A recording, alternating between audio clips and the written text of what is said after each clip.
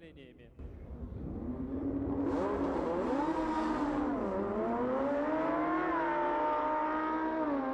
Какой звук у Ламборгини! Какой звук!